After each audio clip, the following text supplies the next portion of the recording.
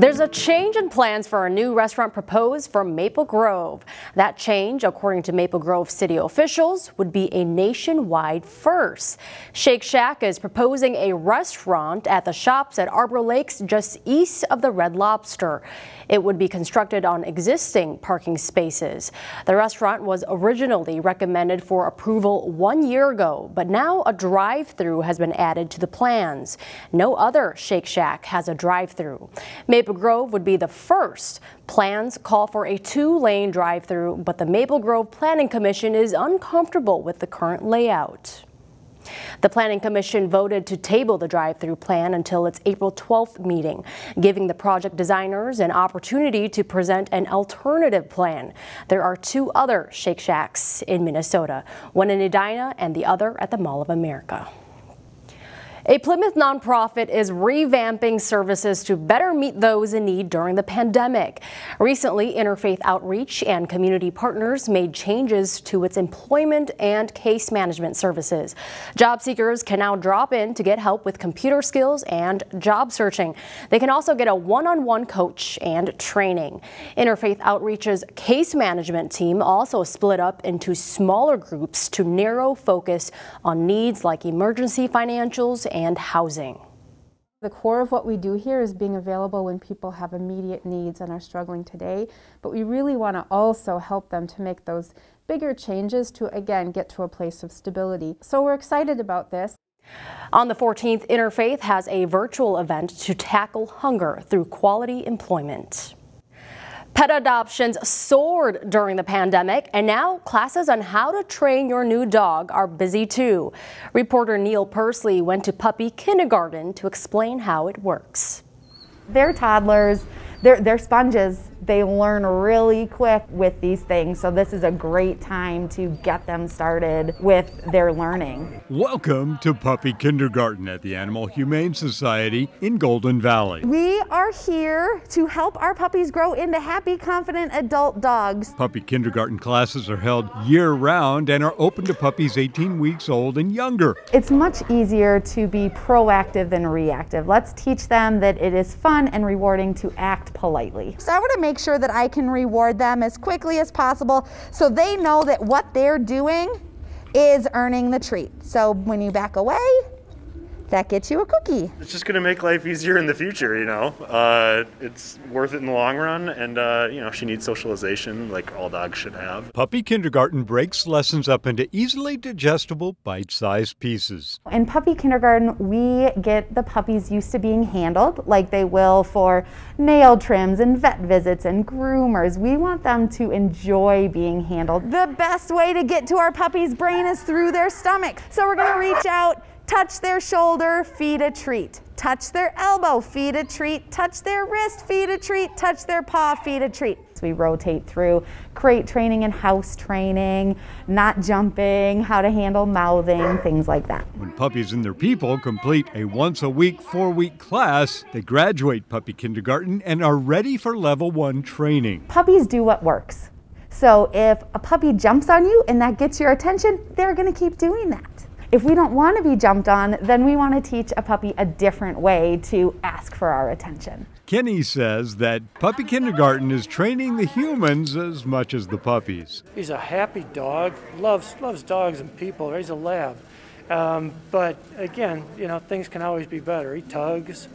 He, he takes off, you know, we got to work on recall, all the usual stuff. You can go to the Animal Humane Society website to find out class times and schedules. In Golden Valley, Neil Persley, CCX News. A middle school girl from Brooklyn Park is empowering women and girls through small tubes of lip gloss.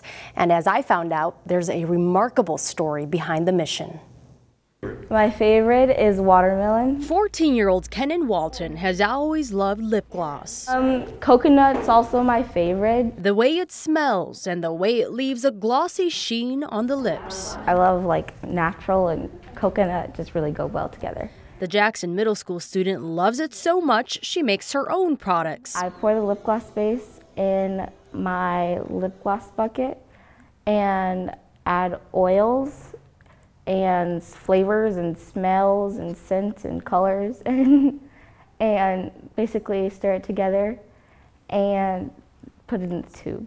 About a month ago, Kennan began selling her tubes of lip gloss at Lilac Boutique in Champlin. She branded it as Truly You. I chose Truly You because I want you to be truly you. Like I want you to be you and beautiful. Kennan named every flavor after words of empowerment. I made lip gloss with different names and beautiful, courageous. I want women to feel all those things. Beautiful, courageous, compassionate, and bold. All words Kennan says she never felt when she was younger. It's never something you hear. Never heard, because the 14 year old says she was without love and support for a long time. I am, and from like foster care, like I've been through homes, I know how it feels. Kennan was four years old when she was brought to the Hennepin County Intake Center to be placed in foster care. I basically went to intake and home after home after home. She had low self esteem, but after getting adopted, the 14 year old made it a mission to help girls feel empowered through her beauty products. This one is passionate. The profits from her lip gloss sales will be donated to the Hennepin County Intake Center. I want to let them know that they are powerful, they are strong, they are beautiful, they are amazing, basically. And sometimes it only takes a small tube of lip gloss with a powerful message to feel exactly that. In Champlin, Pafu Yang, CCX News.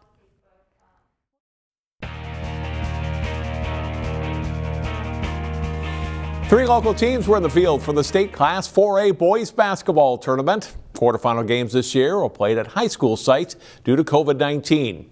Here's Jason Malillo with highlights from Wayzata's opening game.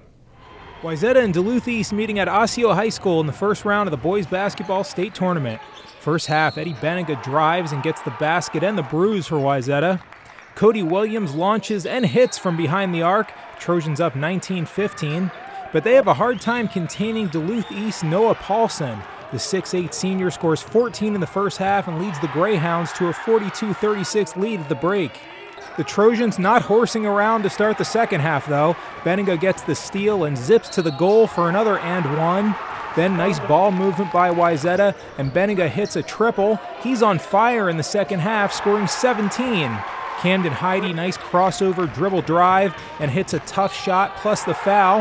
A 19-2 run for Wayzata puts them up 54-44. And the Trojans keep rolling from there. Carter Bierke hits three of his 14 points, and Benega just keeps being Benega. The senior leads all scorers with 26 points, and Wayzata wins 78-69. The Trojans will face top seed Shakopee on April 8th at Target Center. Jason Malillo, CCX Sports. Following that game, two local squads went head to head in a thriller. Wednesday night, Maple Grove and Champlin Park met for a third time this season, this time in the state Class 4A boys basketball quarterfinals.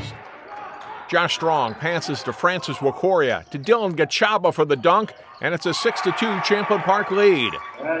Nwaokorie is tough to handle, and he powers in for two, and the Rebels go ahead by six on a huge night for the Mr. Basketball finalist.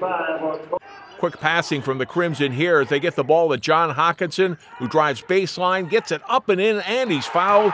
Maple Grove trails by one at the half, 20 to 19. Second half, and Hawkinson attacks the basket, scores and is fouled again. Hawkinson scores 20 points in the game, and Maple Grove leads by three. Later, it's the Crimson's Morgan Moore with a steal and breakaway dunk. Moore with 22 points as Maple Grove leads most of the second half. Rebels down three with time running out, and Nwaokorie hits a three pointer to beat the buzzer and tie the game, sending it to overtime. But in OT, the Crimson are the dominant team. Moore, nice feed to Terrence Anthony Larmouth for an easy lay in. Maple Grove outscores Champlin Park 14 to 5 in overtime, upsetting the state's top ranked team 70 to 61. The Crimson now play Cretin Derham Hall on April 8th. The state boys hockey tournament wraps up this weekend. Earlier this week, a handful of standouts from the northwest suburbs earned recognition for their play this season. Here's Jay Wilcox. Maple Grove's outstanding season helped the Crimson land two players on the Star Tribune's first team All Metro boys hockey team. Metro Player of the Year number 9 Kyle Kukkonen missed most of last season with a broken leg but came back with a dynamite senior season. Kukkonen entered the state tournament with 30 goals and 42 assists. The Crimson lost just once in the regular season. He's committed to Michigan Tech. Kukkonen's teammate defenseman Henry Nelson, number 12, also made the All Metro first team. A great skater, Nelson entered state with 10 goals and 33 assists, excelling at both ends of the ice. He's committed to Notre Dame. Maple Grove goalie Jack Winicky is a third team selection.